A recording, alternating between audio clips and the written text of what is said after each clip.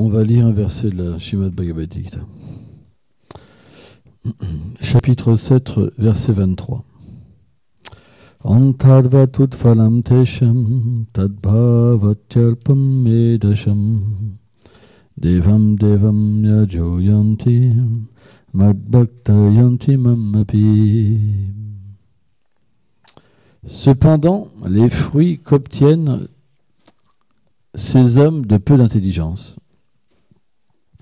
sont périssables. Ceux qui adorent les demi-dieux atteignent leur planète, alors que mes dévots viennent à moi.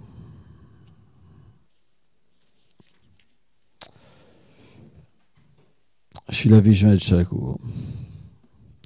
Une personne pourrait poser cette question. Bien qu'un même effort soit accompli, pourquoi le Seigneur donne-t-il des résultats périssables à ceux qui adorent les demi-dieux et des résultats éternels à ses dévots? Ceci n'est-il pas injuste? C'est la question qui est posée. Le Seigneur laisse tous les êtres libres de choisir le résultat de leur désir. Il est certainement juste de recevoir le résultat de son désir. Telle est la justice divine. Or, si les demi-dieux sont périssables, comment leur adorateur pourrait-il obtenir un fruit éternel de cette adoration? Et pourquoi le fruit de leur adoration ne serait-il pas détruit puisqu'ils sont temporaires? Puisque les fruits de l'adoration sont temporaires Voici une question. Hein. C'est pourquoi, dans ce verset, les adorateurs des demi-dieux sont désignés par le mot Alpa Medasham, qui les décrivent comme ayant peu d'intelligence. Au lieu de faire tant d'efforts et d'austérité afin de recueillir des fruits temporaires, à travers l'adoration des demi-dieux. Une personne devrait plutôt adorer Krishna, qui lui est éternel, tout comme ses dévots, et le résultat de son adoration. Om Ganam Ganam Jalam Shalakaya. Shakshul Meditam Jinatais Shigula Venama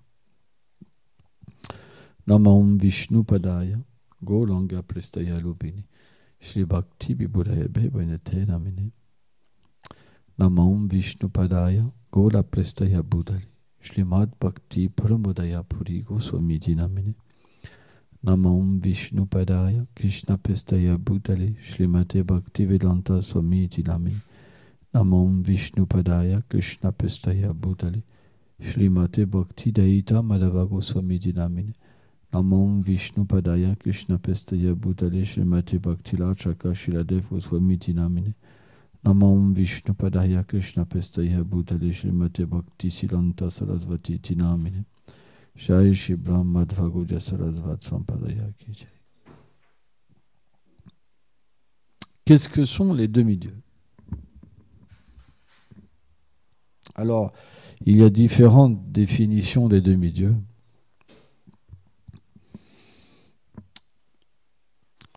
Chez la Baladev Vidyabhushana, chez la Bhaktivedanta Swami Prabhupada, explique que ce sont des êtres mis en pouvoir par le Seigneur.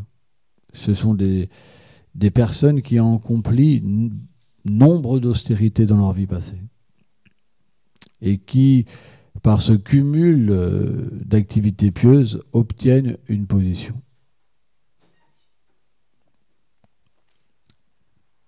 D'autres, Vaishnav, donnent une explication plus élaborée de certains demi-dieux, qui sont des, manifestations partielles des associés du Seigneur.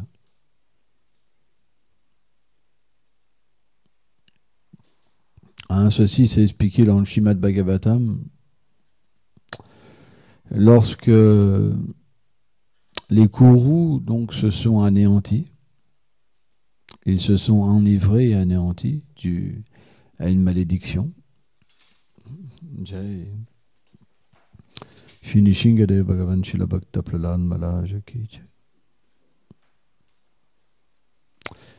Et lorsque les associés en fait du Seigneur viennent sur ces planètes Terre pour accomplir euh, leur divertissement avec le Seigneur, ces demi-dieux qui sont des manifestations partielles et qui vivent sur les planètes héléniques s'incarnent aussi sur la planète Terre. Et les associés du Seigneur hein, entrent dans ces demi-dieux. Et parfois, ils se séparent. Qu'ils se sont exterminés, en fait, ce sont les demi-dieux qui se sont exterminés. Et après qu'on qui, ont regagné leur planète. Et les associés du Seigneur sont restés hein, d'une manière invisible. Et on rejoint après les divertissements du Seigneur sur un autre univers. Et à chaque fois, les mêmes choses se, manifestent. Donc il y a différentes explications qui sont données selon euh, euh, la conscience des êtres, selon le temps, lieu et circonstances, et qui ne sont pas incompatibles en fait. Ils sont euh, complémentaires.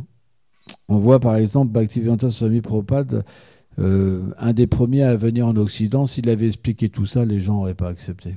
Ils n'auraient pas continué. Donc il faut une explication élémentaire pour permettre aux gens de commencer la dévotion.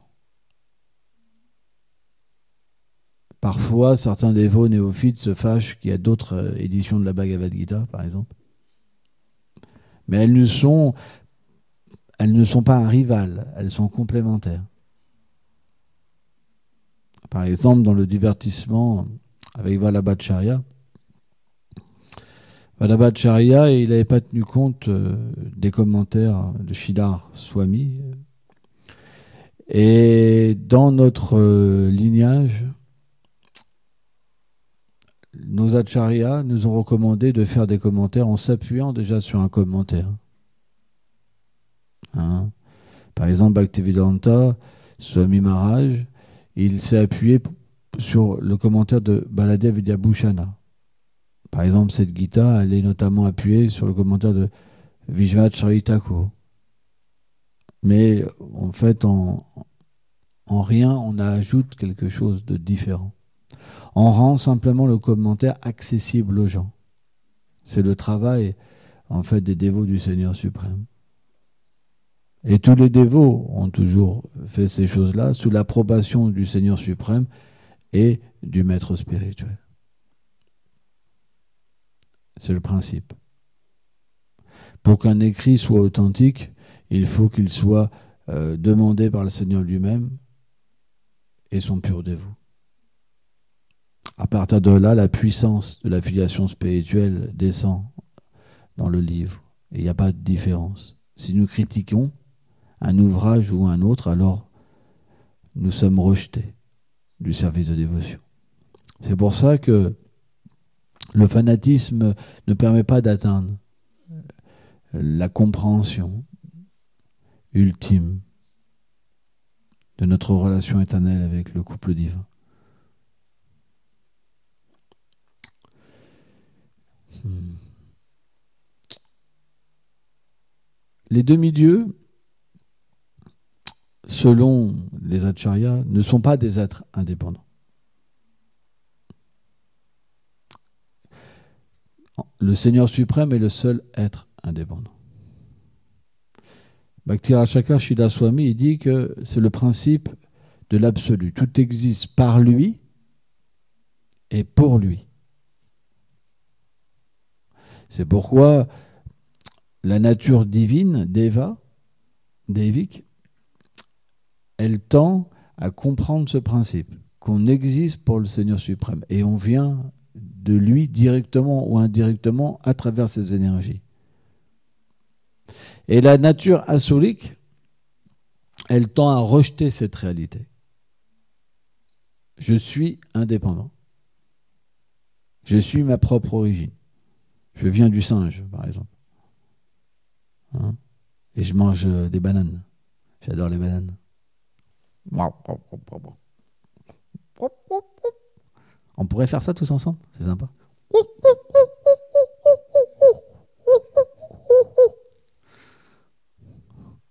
Ça, c'est la nature asulique. La nature divine, c'est différent. Vous comprenez? On vient du royaume transcendantal. C'est différent comme conscience. Hein? venir du singe et venir de la nature transcendantale, c'est quand même deux façons de voir la vie différentes. Et ça donne des résultats différents. Vraiment différents. Hein. Le singe, lui, si vous allez à Vrindavan, il y a des singes. Bhaktisiddhanta disait, ils ont l'air très renoncés, ils vivent tout nus. Hein Mais ils passent leur journée à avoir des rapports avec leurs femelles. Hein de la même manière, parfois, les gens qui pensent qu'on vient du singe, ils paraissent renoncer. Allez, vol, intelligents. Hein Mais un singe, il ne peut pas euh, assimiler grand-chose, comprendre grand-chose de l'environnement.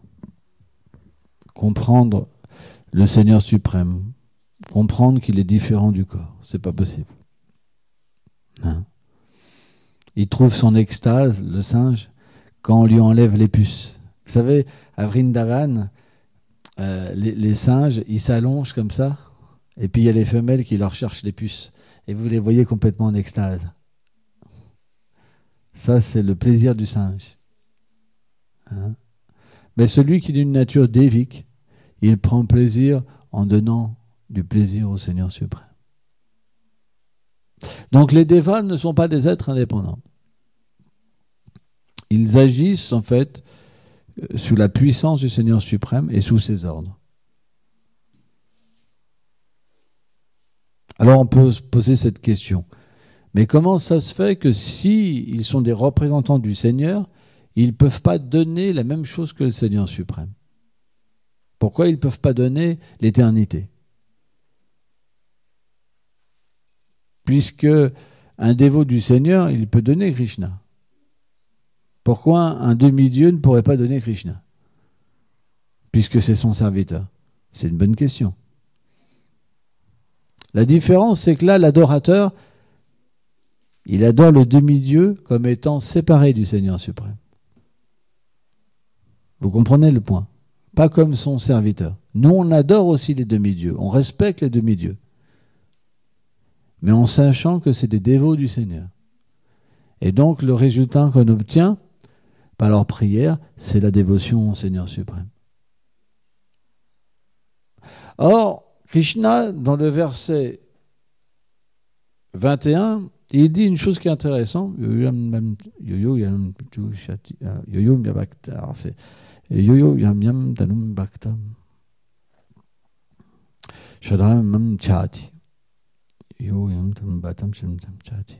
Et il dit une chose qui est intéressante, il dit, cette adoration, en fait, les, adorateurs des Devas, c'est moi qui leur donne la foi. Parce que le Deva en lui-même, il n'a même pas le pouvoir de faire ça. C'est moi qui prends la forme des Devas dans leur cœur. Le demi-dieu, lui, il n'est pas situé dans le cœur des êtres. C'est le Seigneur qui est situé dans le cœur des demi-dieux et qui est situé dans le cœur de l'adorateur, pas le demi-dieu.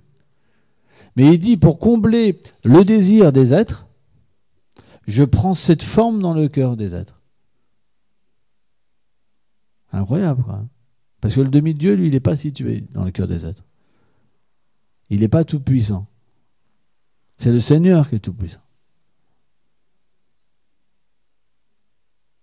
Donc, quand on adore séparément le Seigneur suprême et qu'on adore un demi-dieu, c'est quand même ce Seigneur suprême qui réciproque avec les êtres. Mais la différence, c'est qu'il donne un fruit temporaire. Parce que quand on adore un demi-dieu, d'une façon indépendante, on obtient le fruit qu'il peut donner. Et le fruit qu'il peut donner, c'est quoi? Atteindre sa planète. C'est pour ça que tous ceux qui adorent euh, des demi-dieux, ils atteignent leur planète. Or, Krishna dit, ceux qui m'adorent, moi, atteignent ma planète. Parce que moi, je suis éternel. Ma planète est éternelle, mes dévots est éternel. Tout est éternel. Donc, quand on adore un dévot du Seigneur suprême, le fruit qu'on obtient, c'est le service à Krishna. Parce que le dévot, lui, il n'est jamais séparé de Krishna. Vous ne pouvez pas adorer un dévot d'une manière indépendante. Parce que le dévot, il parle que de Krishna. Il engage les gens dans le service de Krishna. Il n'y a pas d'autre possibilité. Vous comprenez? Alors que parfois, on voit les demi-dieux, comme Indra, par exemple. Parfois, ils se font adorer et ils s'enorgueillissent. C'est une réalité. Quand le Seigneur a détourné l'Indra Puja, par exemple, et qu'il a demandé aux habitants de Vrindavan d'adorer la Kolinga Verdun, Indra s'est mis en colère. Il a voulu détruire Vrindavan.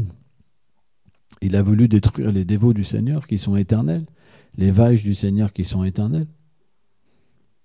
Et finalement, son pouvoir, Krishna, qu'est-ce qu'il a fait avec son pouvoir, avec son orgueil? Il l'a retourné contre lui-même. Parfois, un disciple, par exemple, le maître spirituel représente le Seigneur suprême. Parfois, un disciple, il s'attaque au maître spirituel. Mais qu'est-ce qu'on obtient? Juste le retour de notre attaque sur nous-mêmes. C'est une réalité. Tous ceux qui ont voulu faire ça, ils ont expérimenté ça. Ça veut dire, avec la puissance qu'on attaque un dévot du Seigneur, la même puissance nous détruit. Et pour que la chose soit réparée, il faut euh, s'amender au même niveau, même plus. Parce que si on se repent moins, il reste encore une trace de l'offense. Et à la moindre chose qui va pas, ça réapparaîtra. C'est pour ça que si un dévot ne se repentit pas complètement avec des larmes et qu'il véritablement il enlève l'offense, ça revient tout le temps, tout le temps, tout le temps, tout le temps. On s'en sort pas en fait.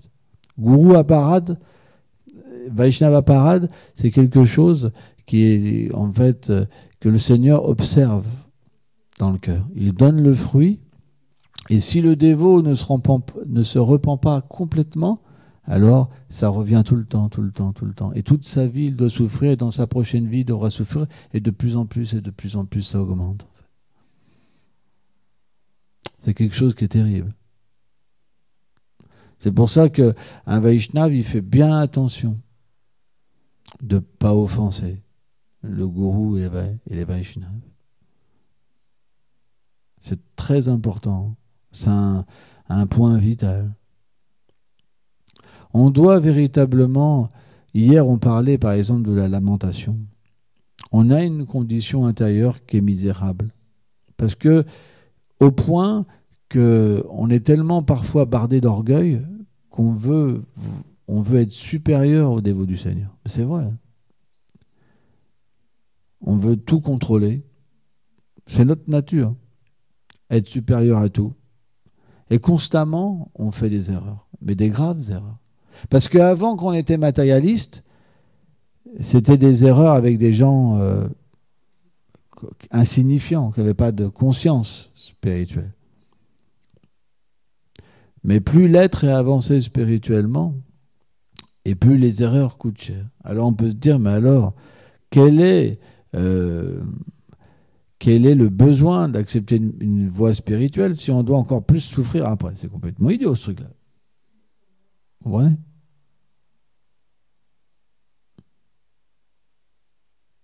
Quel est le pourquoi on accepte une voie si on doit faire des offenses et après, on doit encore plus souffrir? Notre mental, il ne peut pas s'arrêter de voir des fautes. Même chez le gourou. C'est extrêmement difficile d'avoir une bonne nature dans l'âge de Kali. Parce qu'il y a l'influence de l'ignorance et de la passion. C'est très, très, très difficile. Krishna est miséricordieux. Si on fait des erreurs, il nous reprend comme un père. Et graduellement, alors, notre mentalité change. Au début, quand on se fait reprendre, on n'aime pas. Et on prend de l'écart. On se dit, oula, à chaque fois, c'est comme ça. Moi, je, vaut, mieux que je prenne de l'écart. Mais en fait, quand on prend de l'écart, on galère. Parce que sans l'aide du maître spirituel, on ne peut pas dépasser les obstacles. Sans les bénédictions d'un gourou, on ne peut pas dépasser les obstacles. Mais la réalité, c'est qu'on ne veut pas les dépasser, les obstacles. Parce que le maître spirituel donne déjà la solution. Le disciple, il a déjà la solution de son problème. Le gourou, il explique toujours le problème. Mais le disciple ne veut pas le dépasser. Il est attaché à son problème. C'est la réalité. Donc Krishna, dans, le cœur du disciple, au fur et à mesure que le disciple fait des erreurs, au fur et à mesure Krishna euh, se sert de ses erreurs pour changer la mentalité du disciple. Son sang ne pourrait pas changer. Je vais vous donner un exemple.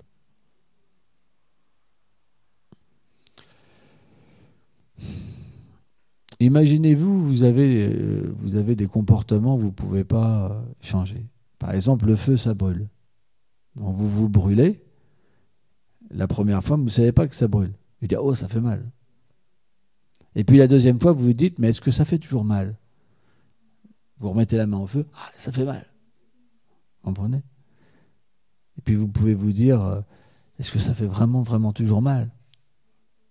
Et vous pouvez après vous dire ouais j'y retouche plus puis un jour vous, vous vous y retouchez parce que vous avez le réflexe de le toucher eh ben en fait c'est la même chose quand on a des mauvaises choses dans le cœur des anarthas le pouvoir, l'orgueil, le vouloir être adoré. Parfois, on rentre en conflit avec le maître spirituel, avec les Vaishnavas, parce qu'on cherche la position. Peut-être pas au début quand on est un nouveau dévot, mais après, quand on devient un dévot plus aîné, naturellement, on cherche le respect. Or, si on se fait reprendre, automatiquement, on va prendre les choses mal. Si on, sent qu'on est rabaissé, on va prendre les choses mal. Donc dans ce moment-là, on va mal penser. On ne va pas forcément le faire voir. Mais Krishna va nous rectifier. Or, qu'est-ce qui se passe? On souffre quand on agit mal. Mais à un moment, on en a marre de mal agir. Parce que Krishna, lui, vous ne pouvez pas faire ce que vous voulez avec lui. Il est expert. Vous faites telle chose, il vous donne le résultat. Et donc, à un moment, naturellement, vous êtes obligé de comprendre que vous n'êtes pas le contrôleur suprême. Vous êtes obligé de comprendre que vous n'êtes pas si puissant. Ah, quand vous êtes matérialiste, vous pouvez être dans l'illusion, mais un Vaishnav, Krishna, lui fait voir, lui donne l'intelligence subtilement, il donne l'intelligence subtile et en même temps les réactions de, de l'acte. Et ça fait un double travail. Parce que ça doit venir de lui. Il y a la réaction, et puis l'intelligence que graduellement on commence à réaliser que bah, il y a quelque chose de plus fort en face de moi, quelque chose que je ne peux pas lutter, quelque chose que je ne peux rien faire. Je ne connaissais pas avant. Et là, naturellement, à vouloir changer de mentalité pour éviter toutes ces choses à l'intérieur de nous-mêmes. Personne ne voit. Et qu'est-ce qui va se passer? Bien que le mental y veuille critiquer, on va trouver, on n'est pas d'accord avec le mental. On n'a pas envie de ça. On n'a pas envie de tomber dans cet extrême. Progresser spirituellement. Mais le mental, lui, il lâche pas l'affaire. Il lâche pas l'affaire. Donc automatiquement, qu'est-ce qu'il nous reste comme possibilité contre une telle personne qui veut tout détruire tout le temps?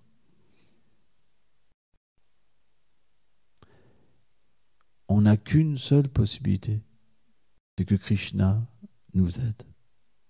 Krishna qui est dans le cœur, au lieu de nous observer, qu'il vienne nous aider. Il n'y a pas le choix. C'est impossible de s'en sortir. Personne ne peut contrôler ce mental. Le mental vous fera croire que vous êtes Dieu. Mais le mental, n'est pas d'accord pour être un serviteur du Seigneur. D'accord pour être un serviteur du serviteur du Seigneur. Ça, c'est la nature de l'âme.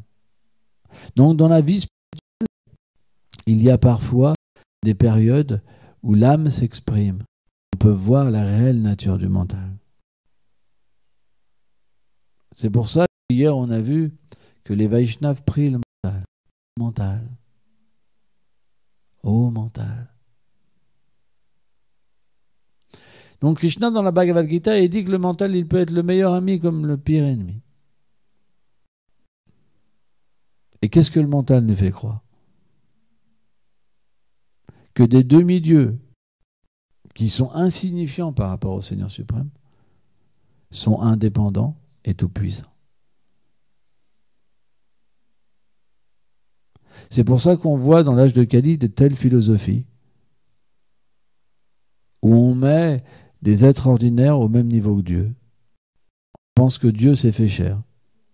On pense que Dieu a besoin de venir dans un corps de chair qui pue et qu'il n'a pas de corps transcendantal et tout-puissant. C'est la vérité, c'est l'âge de Kali. On voit toutes sortes de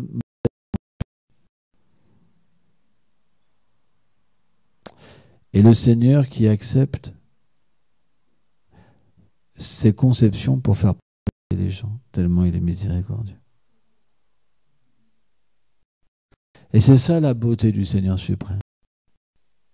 C'est qu'il est le véritable ami. Il est le contrôleur. C'est pourquoi quelqu'un d'intelligent, qu'est-ce qu'il a à adorer des demi-dieux, indépendamment du Seigneur suprême? Pour avoir quel fruit? Une femme, des enfants, un embourbement matériel?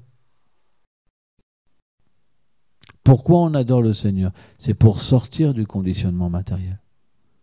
Pour comprendre qu'on n'est pas ce corps. Qu'on n'est ni une femme, ni un homme, ni un brahmana. Mais plus. Pour comprendre notre transcendance. Or, quand Krishna vient dans le monde, il est tellement miséricordieux que même les démons, il les délivre.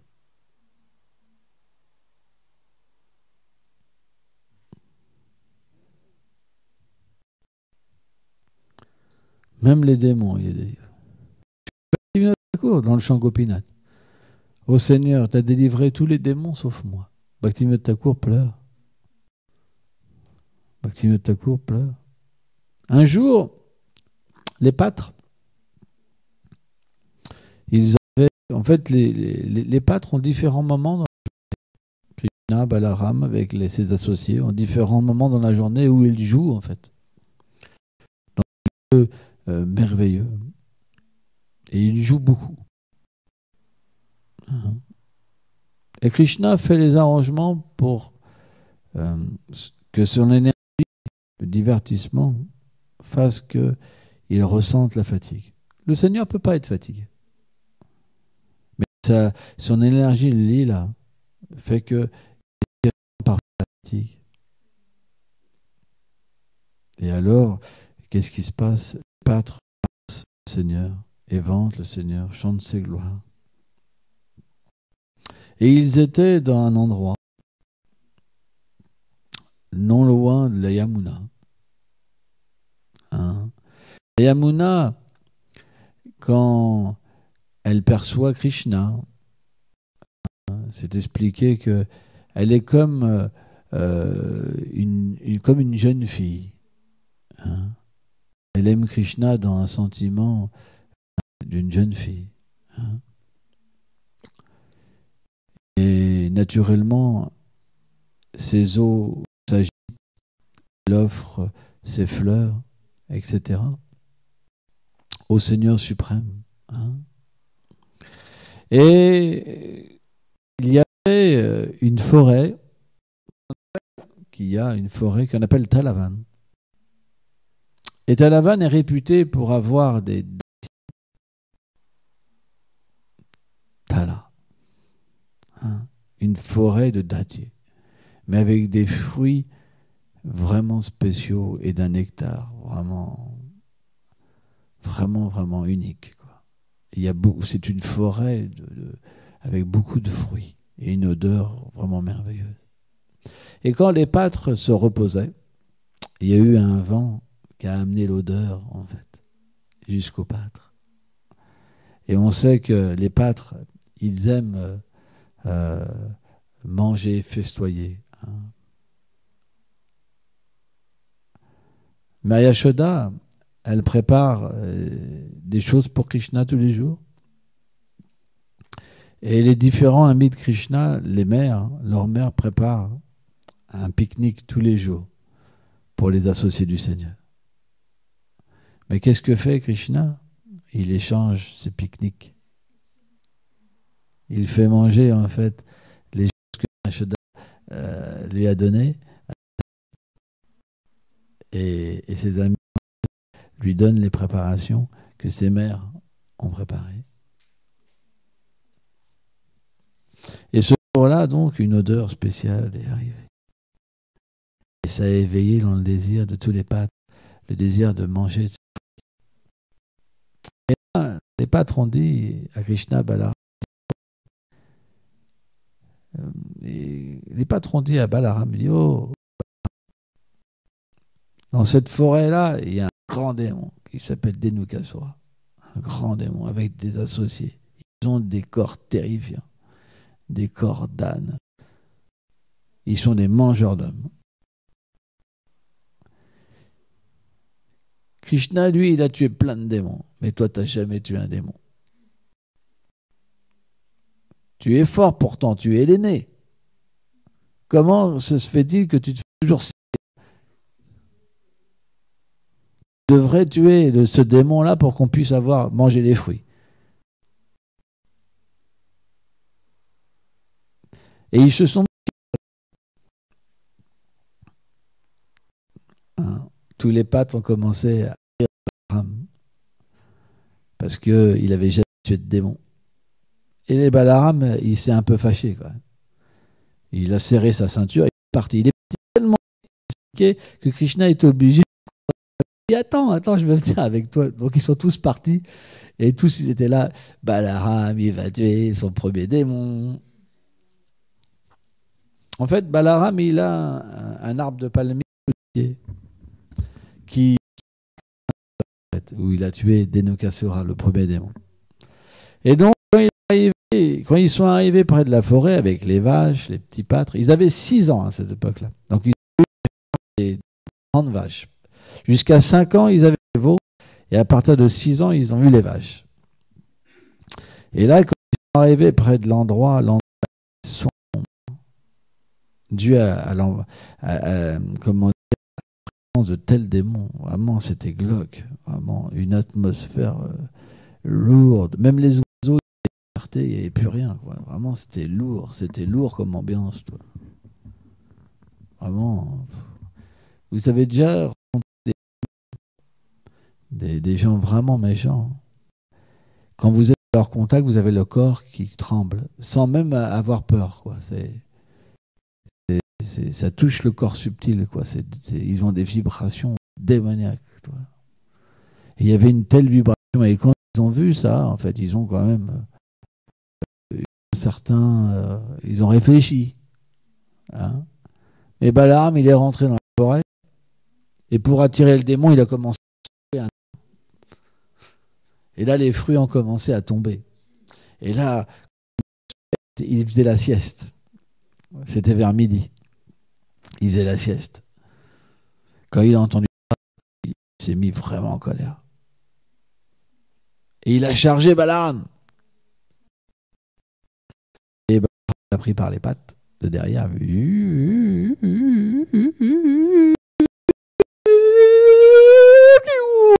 Presque un mètre, il l'a envoyé.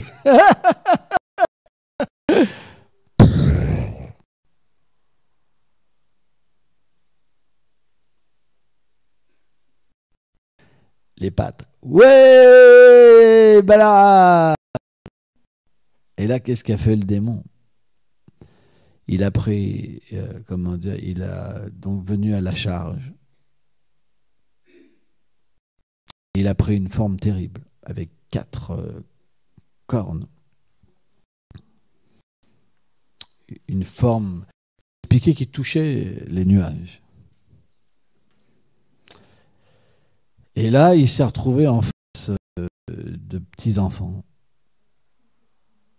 tout mignons, avec des vaches qui avaient le sourire, que t'avais même pas peur. Il n'a rien compris. Il dit, mais c'est pas possible quand même. Je prends ma forme tellement grande, tellement démoniaque, et ils ont, ils ont même pas peur. Les enfants, ils ont commencé, sous balle, il a mis un coup de poing à. Shrita met un coup de bâton s'éclatait, Tenukasura. Ils l'ont à deux, alors je ne sais plus, les, ils l'ont fait tourner, ils l'ont envoyé. Et là, en fait, à chaque fois qu'il se relevait, Nakasura, il comprenait rien. Il dit Mais qui sont ces personnes? Qu'est-ce qui se passe? Et à un moment, Krishna a voulu en, et Denukasura était dans les airs avec Krishna pour se battre. Ils ont été hauts dans les airs, des kilomètres de hauteur. Et à un moment, Krishna, il, a envoyé le démon hein, pas loin de Govardhan. Et qu'est-ce qu'a fait Denukasura? Il a soulevé Govardhan. Personne ne peut soulever Govardhan à part Krishna. On ne sait pas des êtres ordinaires et il a jeté Govardhan sur Krishna. Il a pris Govardhan, il l'a rejeté sous Dadakasura. Et les pâtres, ils ont commencé à, comme un match. Vas-y Krishna, tue le démon, vas-y Krishna. Et il y a eu tout un échange comme ça. Et à un moment, Krishna était fatigué parce que c'est son Govardhan sacré. Donc il a reposé Govardhan parce qu'on ne pouvait pas faire ça avec Govardhan. Il a, dû, il a dit à Balaram, vas-y maintenant, finis-le. Parce qu'en fait, Krishna Nukasura. Parce que dans sa vie d'avant, Nukasura, c'est un fils de Bali Maharaj, qui est un descendant de Pralan Maharaj. Et Pralan Maharaj avait eu cette bénédiction qu'aucun descendant ne serait tué par le Seigneur suprême. C'est la raison pourquoi Krishna il a pas tué, il pouvait pas tuer Nakasura. Parce qu'il était lié par une, bénédiction. Et là, la rame, donc il, a tué. Et au moment où il a tué Nakasura, il y a eu tout un truc où il a tué, ils ont tué aussi tous les autres démons. Et le, en fait, il est sorti de son corps de démon. Et il avait un, un teint merveilleux. Et un chariot est venu merveilleux, en fait, de Golok Vrindavan pour leur porter à Golok Vrindavan. Tous les pâtres ont vu ça. Tout le monde a vu ça. Hein? Donc, Krishna est merveilleux. Si Krishna peut délivrer les démons, c'est Vous comprenez? Disons que c'est pas des êtres ordinaires, bien sûr. Mais les Vaishnavas expliquent quand même que si Krishna peut, peut commander les gens qui, qui veulent euh, sa, sa, vie, bon après, et qu'il les délivre, parce que nous sommes des dévots aussi. Nous sommes devenus des démons. Des dévots. Denukasura, il avait oublié sa nature. Hein. Vous comprenez? Parce que nous, on peut dire oui, mais c'était un dévot, mais nous, nature éternelle d'être un dévot. Mais le point, Krishna vient lui-même pour nous amener dans, son, dans sa demeure. Donc on est ce dévot. Krishna nous a déjà accepté. On ne pourrait pas être initié. On ne pourrait pas venir. C'est que Krishna nous a déjà délivrés, nous a déjà acceptés, c'est une preuve. Denukasura, lui, était dans le royaume du Seigneur suprême, mais il n'avait pas vraiment conscience de sa relation avec le Seigneur suprême. Ben, des fois, on est comme ça aussi. Des fois, notre tendance démoniaque revient.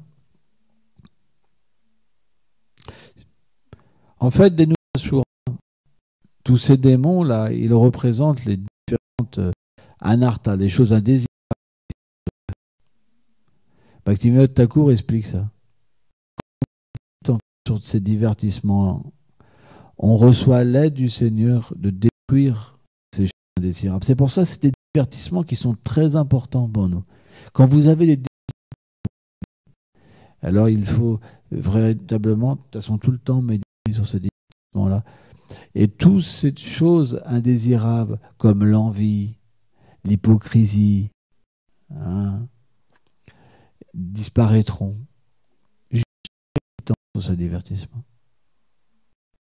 Ils vous aideront à, comment dire, Krishna personnellement viendra et détruira à travers ces histoires, en fait, C'est pour ça qu'on doit prier Krishna et Balaram qui viennent. Parce que euh, nous-mêmes, on a des démons.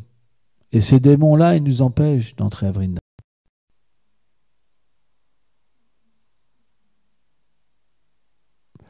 Kunta, il n'y a pas de folie, il n'y a pas de jalousie. À moins que euh, toutes ces choses partent, on ne peut pas atteindre Vrindavan. C'est pour ça que le Seigneur, quand il vient dans ce monde matériel, il y a aussi des démons qui viennent, des puissants démons, incommensurables. Mais ces démons-là, ils symbolisent aussi euh, des choses indésirables pour qu'on puisse nous-mêmes s'en débarrasser. Il y a les deux aspects. L'aspect où que Krishna, il aime aussi se battre, ça fait partie de ses divertissements. Et un autre aspect, c'est qu'en contact avec les histoires, on peut nous les choses indésirables qui sont dans nos cœurs. C'est très scientifique, en fait, les agissements du Seigneur suprême. On devait pas croire à l'idéologie. Ça, c'est la mentalité asolique. Parfois, certains divertissements du Seigneur suprême, quand ils entendent Tana, ils faisaient plusieurs kilomètres de haut, 13 kilomètres de haut, 8 kilomètres de haut, je ne me rappelle plus. Mais en fait, on doit comprendre que quand le Seigneur vient, le Seigneur est limité.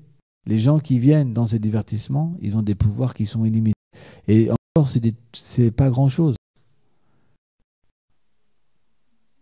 Quand Hiranyaksha battu contre Varaha, il a pris comme l'espace de l'univers.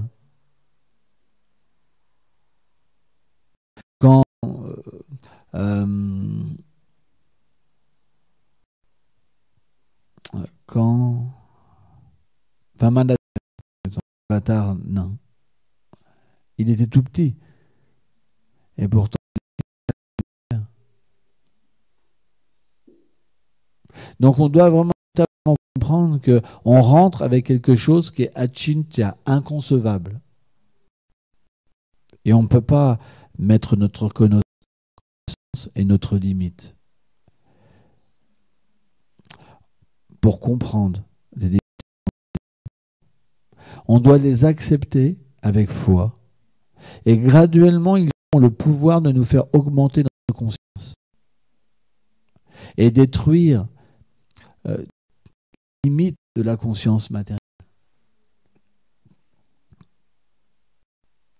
Pour ça, la connaissance spirituelle, elle est différente que la connaissance matérielle. La connaissance matérielle, elle nous enferme dans une conscience atrophiée. Alors que la connaissance spirituelle, elle nous libère.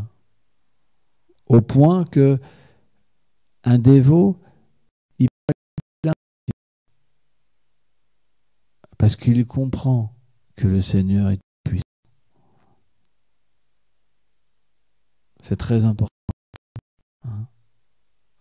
C'est pourquoi vous, on trouvera toujours des dévots qui ne peuvent pas tout accepter. C'est normal. Plus euh, la soucritie augmente, l'activité euh, pieuse, euh, euh, et la dévotion augmente, et plus la compréhension devient de plus en plus vaste et l'acceptation de plus en plus vaste. que c'est impossible de comprendre le Seigneur. C'est impossible. Oh, le